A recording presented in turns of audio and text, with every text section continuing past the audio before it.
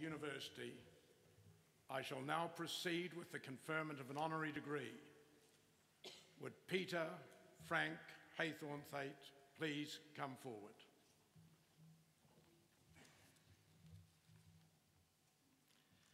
The Vice Chancellor, Professor Pat Walsh, will read the citation.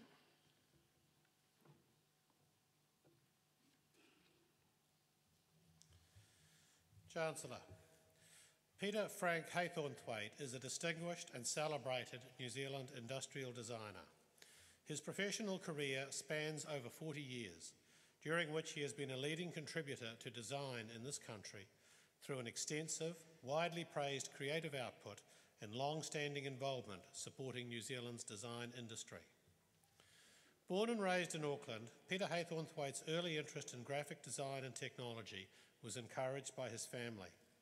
He enrolled at the University of Auckland's Elam School of Fine Arts in 1962, graduating with a diploma in fine arts, honours, majoring in design. Inspired to study overseas by Ed Zagorski, an American industrial designer who was visiting New Zealand as a Fulbright scholar, Peter Haythornthwaite became one of the first young New Zealanders to undertake postgraduate industrial design studies in the United States. He completed both a Bachelor and Masters of Fine Arts, majoring in industrial design at the University of Illinois, graduating in 1969. Upon graduating, he gained valuable commercial experience, particularly as a senior industrial designer at the pioneering firm Henry Dreyfuss Associates in New York. He returned to New Zealand in 1971 to take up a position as lecturer in design at the University of Auckland. Since then, Peter Haythornthwaite has contributed significantly to the development of design as an academic discipline in this country. For many years, he lent his expertise to the Wellington School of Design, now part of Massey University, and in 2004 was appointed adjunct professor at Victoria University's School of Design. In this capacity, he has supported the school by sharing his knowledge and industry experience facilitating opportunities for students, and assisting in the development of the school's Design Led Futures program. Often working in collaboration with others, Peter Haythornthwaite's passion for acquiring knowledge has driven his prolific creative output, and he has created a number of successful businesses bring his ideas to fruition. One such business, Artifacts Limited, designed, manufactured, and marketed a range of office stationery and enjoyed worldwide commercial success becoming the first New Zealand company to have its products sold in the design store of New York's Museum of Modern Art. Peter Haythornthwaite's excellence as a designer has brought him the highest national and international recognition. In 2003, he won the Designers Institute of New Zealand John Britten Award. Four years later, in 2007, he received one of the world's most prestigious design accolades, a gold medal in the Industrial Designers Society of America's IDEA Awards for the LOMAK keyboard design, which enables people with physical impairments to use computers more easily through the use of light sensor technology. LOMAK was subsequently selected for the acclaimed 2008 exhibition Design in the Elastic Mind and was the first design by a New Zealander selected for the Museum of Modern Art's internationally renowned permanent collection. As a leader in the national design sector, Peter Haythornthwaite helped establish the New Zealand Best Awards, a showcase of excellence in graphic, interactive, product and spatial design. And he has served twice as President of the Designers Institute of New Zealand. He has also been a member of its council for, many years, and in 1995 was made a Fellow of the Institute in honour of his distinguished service. He is also an international advisor to the Boston based Design Management Institute. More recently, Peter Haythornthwaite has devoted considerable effort to building the design capability of New Zealand businesses.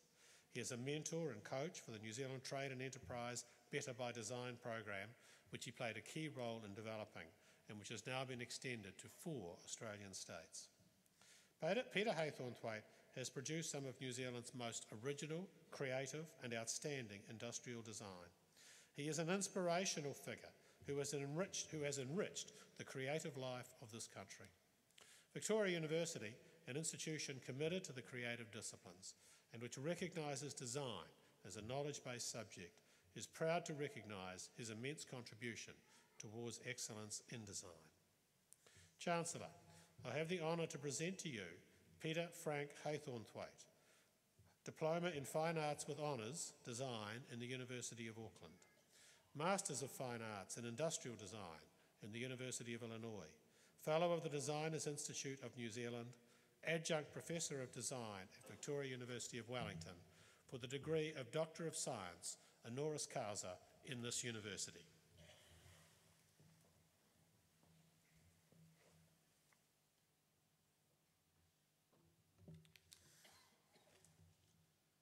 By the authority of Victoria University of Wellington, I, Ian McKinnon, Chancellor, now confer on Peter Frank Haythornthwaite the degree of Doctor of Science honoris causa.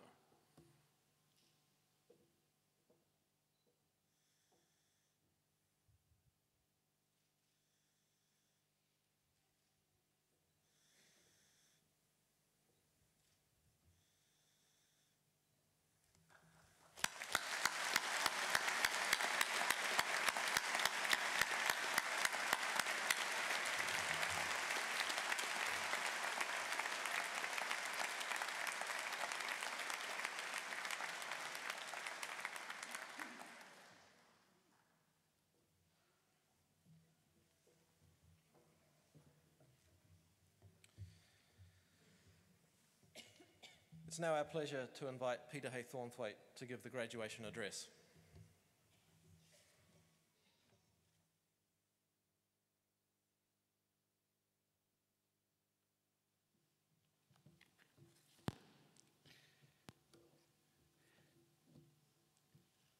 Chancellor, Pro Chancellor, Vice Chancellor, heads and staff of the faculties, family and friends.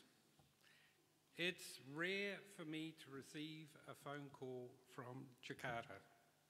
But two months ago, the Vice Chancellor called me from there advising that the Council of Victoria University of Wellington wished to award me with an honorary degree of Doctor of Science. Would I accept? I'm thinking, is this imagination or reality?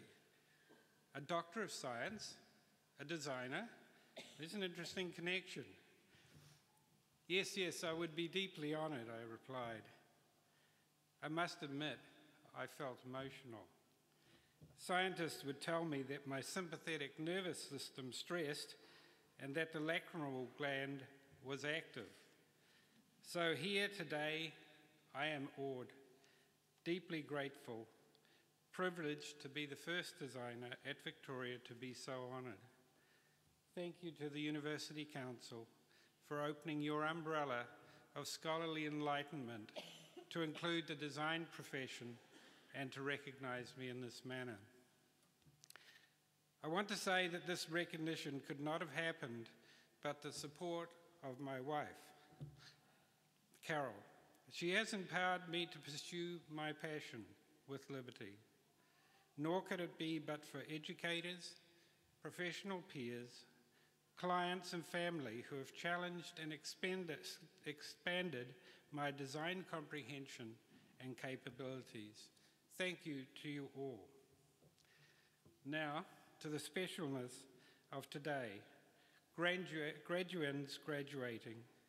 For you, university has been a time of enlightenment, and at times like the book title on, on Michelangelo, The Agony and the Ecstasy.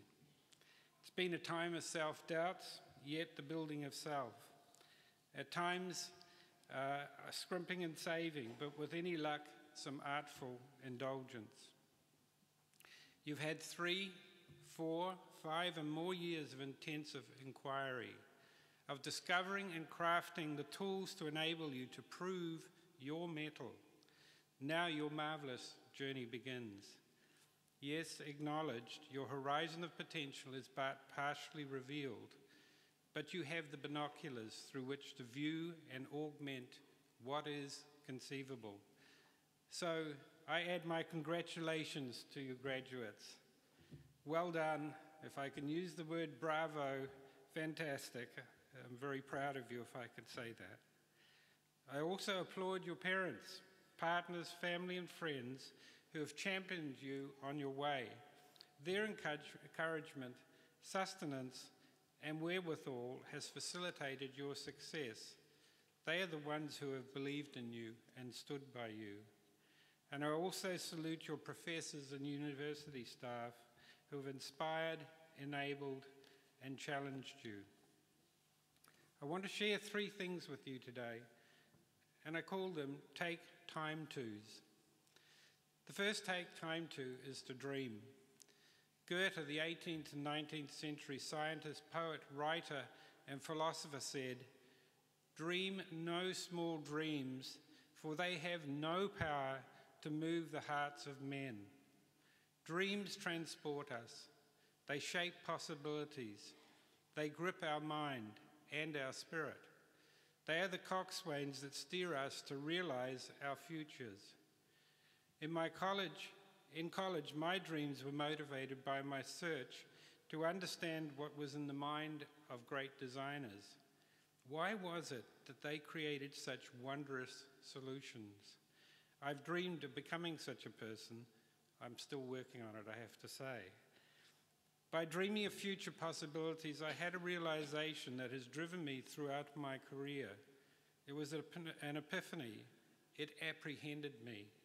It was a realization as to why I was created to design. It was only when my search and my dreams coalesced that my purpose became clear. I tell you this for one reason that is, each of us has a special purpose in life, and to a significant degree, our ability to dream, to envisage, to conceive, enables us to find and accomplish that purpose. The university commune ferments and fertilizes dreams. However, once outside, it's all too easy for our dreams to be conditioned by context, to be subjugated by money and circumstances. It's all too easy to allow our dream ability to be snared by demands. When we fail to dream and to become less curious, we accept the status quo and to hope for less. Bob Gass captured the significance of dreaming when he wrote, Dreamers are not always the most talented or best educated, just the ones who refuse to put brackets around their thinking or limit themselves to what others have done. Doing this requires courage, lots of it. On the heels of every dream, there's a demon of doubt. No sooner is your dream conceived that your mind is suddenly filled with all reasons why it will not work. And there will be those around you who will be quick to confirm those fears. In spite of that, you must forge ahead and dream. Otherwise, you'll spend the rest of your life fulfilling the dreams of others. Of course, there's a footnote. Your dreams will only move the hearts of men by being realized through conviction tenacity, passion, and capability. The second take time to is to search for beauty. Life is too short not to seek for beauty. While beauty may defy, defy adequate description, there's a rightness when we experience it.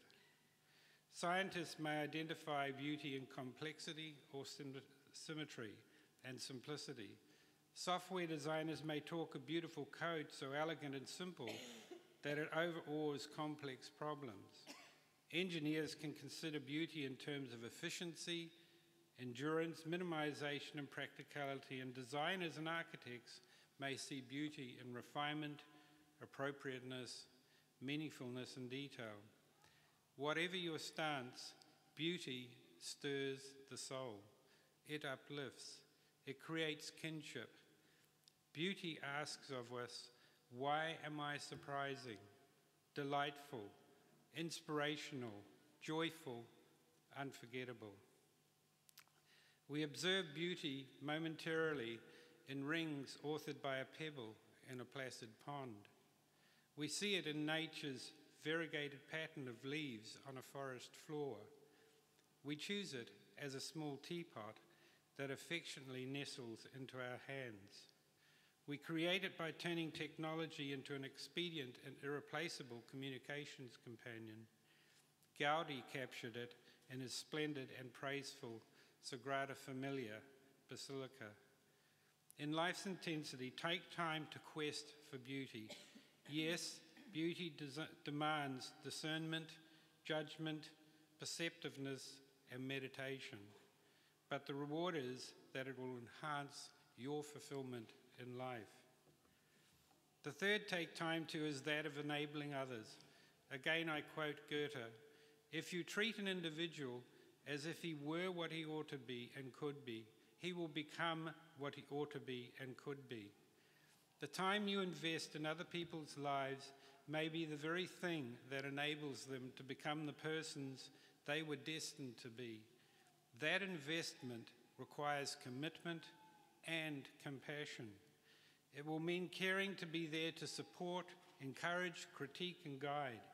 It may mean being there for the least likely to succeed and giving them the hope to achieve. In some ways, this take time to is the antithesis of striving for your own success, which of course you must do. But the surprising outcome is that in the, in, in the process of focusing on another person's potential, you will most likely become the person you ought and can be. So, take time to dream big dreams that will move the hearts of men. Take time to engage in the search for beauty.